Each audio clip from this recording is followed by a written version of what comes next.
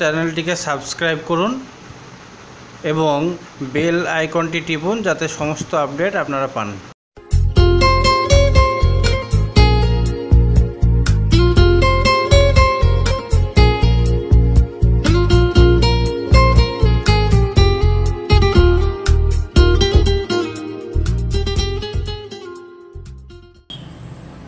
Hello viewers আমার হবিস চ্যানেলে আপনাদেরকে স্বাগত জানাই। আজকে আমি দেখাতে চলেছি বগলভেনিয়া গাছের কীভাবে পরিচর্যা করতে হয়। এই যে গাছটিকে দেখছেন ফুল ধরা গাছ। এই গাছটির নাম বগলভেনিয়া বা বাংলায় আমরা একে কাগজ ফুল বলি। কারণ এই কাগজ ফুল বলার পিছনে সব থেকে বড় যে ব্যাপারটা হয়, আপনাদেরকে দেখাচ্ছি। এই যে দেখুন, ফুলের পাতাগুলো এতটাই পাতলা এতটাই পাতলা যে একদম কাগজের মতোই লাগে। তার জন্য একে আমরা কাগজ ফুল নামে ডাকি। এটা গ্রীষ্মকালে ফুল ফোটে, গ্রীষ্মকালে বড় হয় এবং সমস্ত রকম প্রোগ্রেসটা গ্রীষ্মকালে এর বেশি হয়। এটাকে আপনি সারা দিন যদি সানলাইটের নিচে সূর্যের নিচে রাখেন, তবেই এটা বেশি ফুল ফুটবে, কোনো রকম ক্ষতি হবে না, এটি বেশি জল পছন্দ করে না, অল্প জল দিন এবং একে সূর্যের রশ্মির নিচে, মোটামুটি আট থেকে ন ঘণ্টা সূর্যের রশ্মির নিচে একে রেখে দিন। দেখবেন সাধারণত দারুণ ফুল দেবে।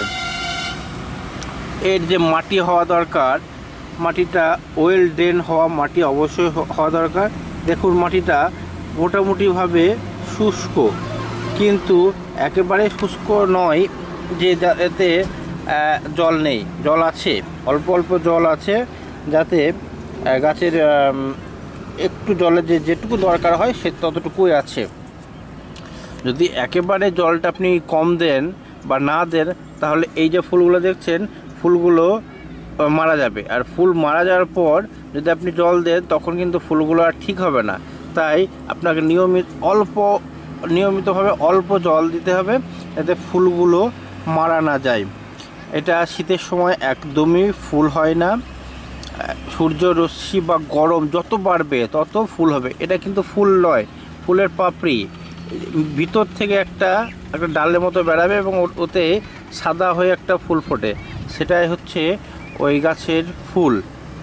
তো এটার কেয়ার করার খুব একটা দরকার হয় না। শুধুমাত্র ফেব্রুয়ারি মাসের আগেই গাছে ক্রুনিং করে নেওয়া অবশ্যই দরকার। দেখুন, ফেব্রুয়ারি মাসের আগে আমি গাছে ক্রুনিং করেছিলাম এখানে এবং এখান থেকে একটা ডাল এবং এই যে ডালটা, এই একটা ডাল, এই একটা ডাল, দুটো ডাল বেরিয়েছে। এটাও এটাও এটাও বেরিয়েছে। হুম, তো দেখুন, এই ডাল থেকে বেরিয়ে ফুলগুলো কি সুন্দর ফুটেছে। এখনও বড় হবে যদিও ফুলগুলো। এর পরবর্তী যে, এই যে ডালটা দেখছেন, এটা থেকেও ফুল হবে।